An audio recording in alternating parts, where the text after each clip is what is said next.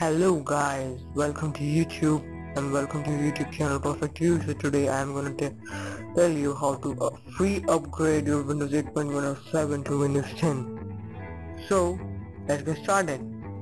First of all, if you are signed into Microsoft account on your computer, you will automatically get a icon in your Windows tray.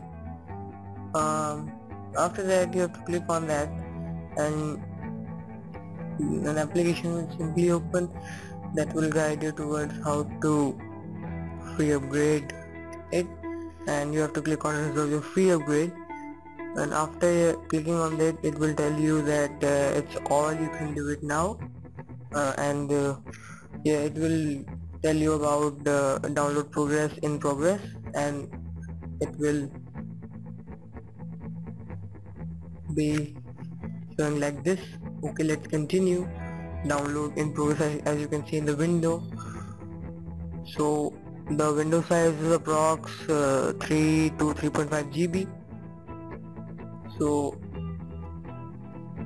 it is only free for one year so just go and grab it if you are using Windows 7 or Windows 8.1